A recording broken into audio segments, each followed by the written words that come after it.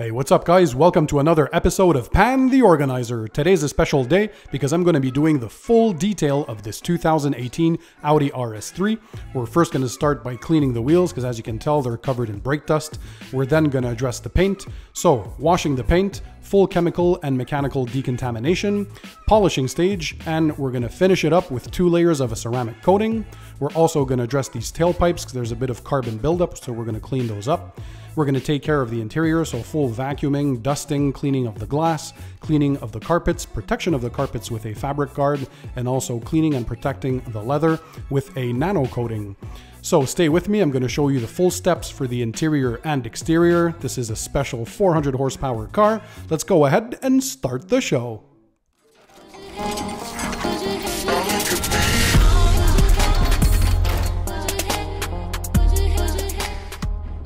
Alright guys, we're first going to start by cleaning the wheels as these are the dirtiest parts of the vehicle. So for a soap, I'm going to use the Chemical Guys Citrus Wash and Gloss. For a degreaser, I'm using Meguiar's Super Degreaser, that's for the tires.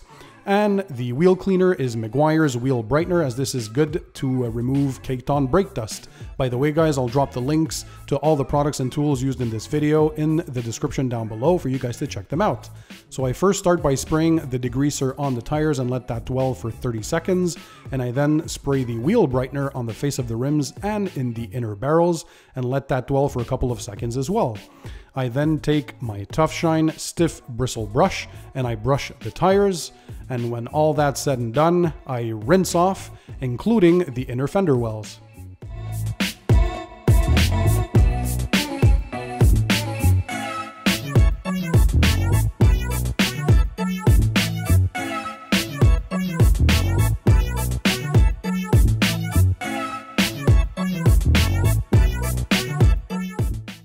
Now to go further in the washing stage of the wheels, I use my Speedmaster brush to do the inner barrels. I always start with the top and work my way to the bottom. This is a great brush to get into those tough areas, including behind the brake calipers. And then for the face of the rims, I'm using my Wheel Woolies Boar's Hair brush, as this is a soft bristle brush for the face of the rims and won't scratch or mar them.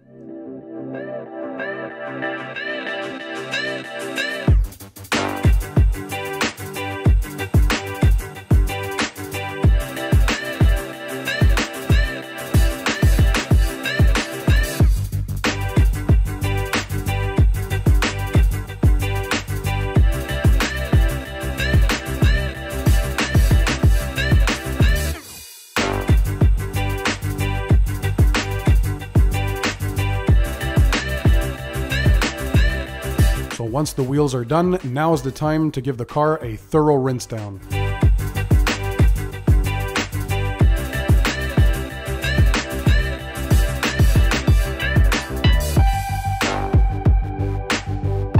So for the pre-wash stage, I'm using Angel Wax Fast Foam in combination with my MTM PF22 foam cannon. Now this is a great soap, I dilute it 1 in 9 and I let it dwell for about 10 minutes and this acts as a traffic film remover.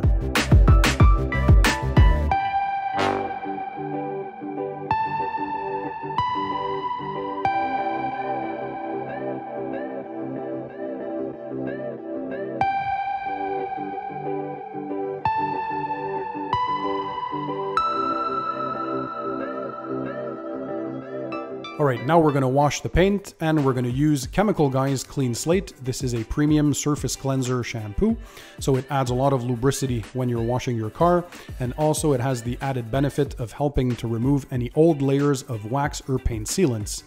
So, when you're washing the car, I always recommend the two bucket method. This is part of the safe washing techniques. So one bucket for rinsing your mitt and the other bucket containing the soapy water solution.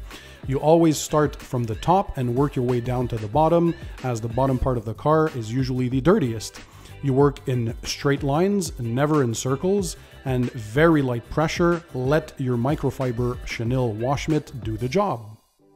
Another quick tip, if you have a garage like me, you can clean your car inside the garage, or if you have to work outside, always do it on a cloudy day, and ideally at the end of the afternoon, or very early in the morning when the sun is not at its brightest.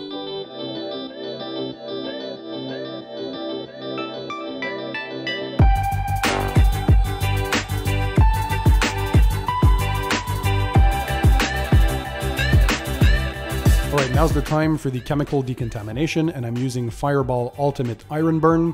So this is an iron fallout remover. You essentially spray it on to the paint. It can be either wet or dry. So this product sprays on clear and when it reacts with the iron filings, it turns to purple, indicating that it's reacted with them and they are ready to be rinsed off. So as you can see, this paint was full of those iron particles that were embedded in the clear coat. They can come from rail dust, brake dust, or industrial pollutants. And as you can tell, there was a lot of it. So once you're done, after four to five minutes of dwell time, you go ahead and rinse the product off. So the second part of the decontamination stage is the mechanical decontamination with the use of a clay bar and a clay lubricant. If you don't have a dedicated clay bar lubricant, you can make your own mix using a mixture of car shampoo that's pH neutral and water.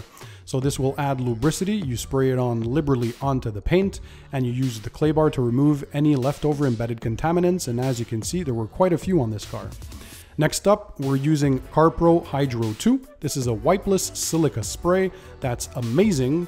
You spray it on to some wet wheels, including the face of the wheels and the inner barrels, and you immediately wash it off using a heavy jet of water, ideally with a pressure washer. And this activates the molecules, and this basically gives you a super quick nano coating that lasts three to four months and makes cleaning the wheels a lot easier.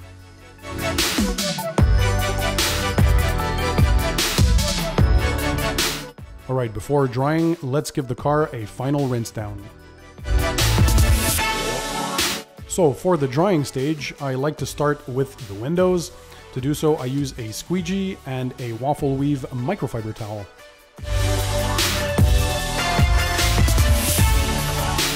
Alright, now to dry the paint, I'm using a high quality waffle weave microfiber drying towel.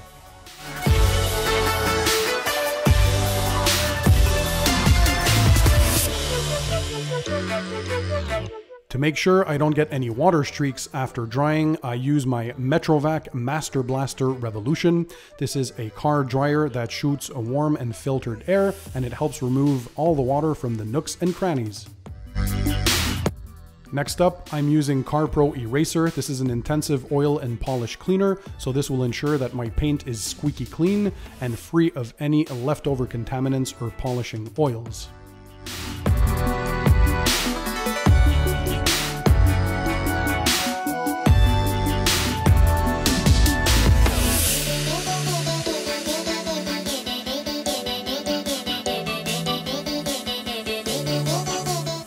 As the car is fairly new, it doesn't need much paint correction, but I'm going to be using a one-step polish, the CarPro Essence. It's an extreme gloss enhancer and acts as a primer for ceramic coatings.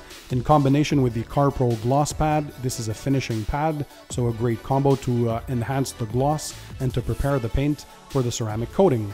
I'm going to be adding two layers of ceramic coatings from Kamikaze Collection, a base layer of Miyabi coat and a top coat of ISM coat.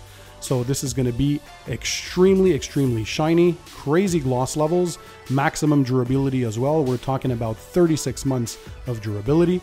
Contrary to other uh, quartz coatings, you uh, apply the kamikaze coatings in straight lines, steady hand technique, and after waiting usually 15 minutes of cure time for the Miyabi coat and 5 to 10 minutes for the ISM coat. You go ahead and buff it off using circular motions and a high quality microfiber towel. By the way, once you're done buffing off the uh, quartz coatings, you have to throw away your microfiber towel because you don't want any uh, glass shards to be formed on the towel and maybe scratch or mar the paint for next use. Next, I'm gonna add a coat of Kamikaze Overcoat. This is a sacrificial layer that is designed to be applied on top of ceramic coatings to protect them against water spotting during their first week while the coatings are still curing. On its own, this product lasts three to six months and adds a lot of gloss and shine and slickness to the paint. Time to clean the glass with one of my favorite glass cleaners, the Stoner Invisible Glass. This is a premium glass cleaner and is ammonia free, so safe for tinted windows. I use this in combination with a waffle weave microfiber towel.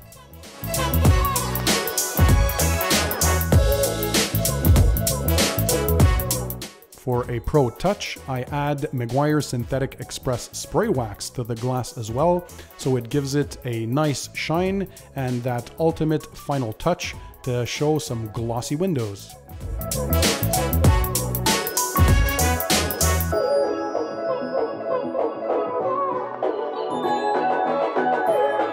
For a tire dressing, I'm applying a coat of Chemical Guys VRP. This is a water-based dressing and gives a nice semi-gloss look.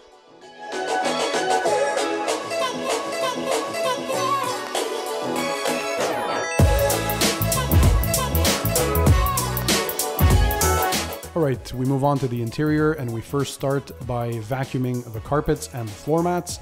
I'm using my Ridgid 5 horsepower 4 gallon portable wet and dry vac to do the job and a stiff bristle brush to help remove any hairs that are still in there. So once we're done with the vacuum, I brush all the fibers of the carpets in one direction and I give straight lines while brushing in the opposite direction to give a nice detailed touch. This is very appreciated by customers.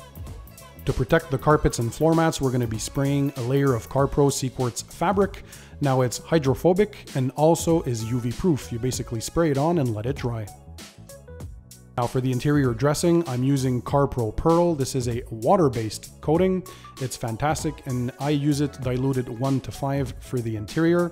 So it goes on super well and leaves a nice clean matte finish. So like the brand new factory look.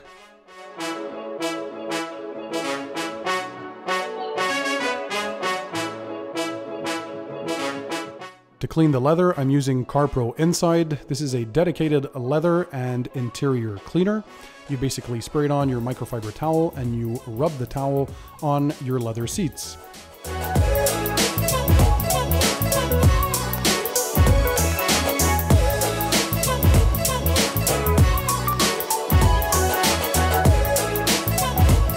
Protect the leather seats, I'll be applying two layers of CarPro CQuartz leather. Now this is a stain resistant and dye transfer resistant coating. It's highly hydrophobic and it's also UV proof, so it's going to help nourish the leather and protect it as well against the uh, damaging effects of the UV rays, so no fading and cracking. And as well, this coating makes cleaning the seats a lot easier in the future. So you basically just need a damp microfiber cloth to remove any body oils as the coating itself adds a lot of hydrophobicity to the seats. So all in all, a great coating.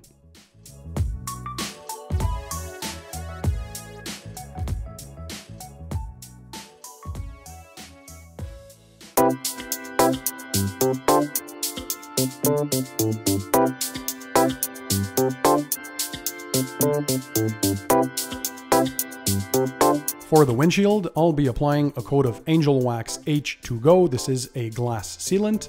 To apply it, you basically spray it on the glass and then you apply in circular motion using a microfiber towel. You let it dry for a period of about 10 minutes before buffing off.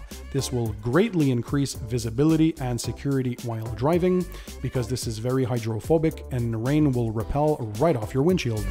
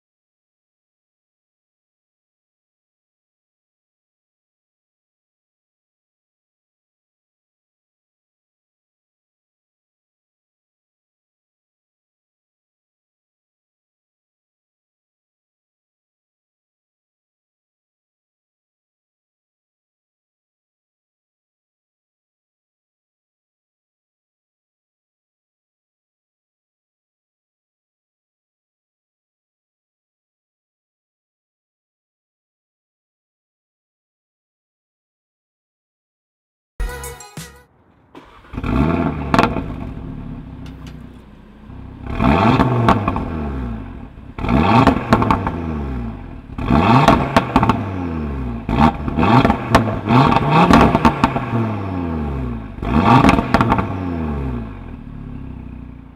Guys, I hope you enjoyed the full detail of this brand new 2018 Audi RS3.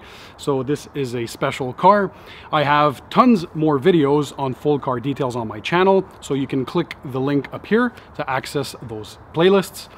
Also, I'll make sure to drop all the links to the products and tools used in this video in the description down below for you guys to check them out. I hope you enjoyed the video. If that's the case, smash the thumbs up button, show me your support, and click the subscribe button. That way you'll subscribe to my channel and never miss my future videos. Also, make sure to activate the notifications button. That's the icon that's in the form of a bell.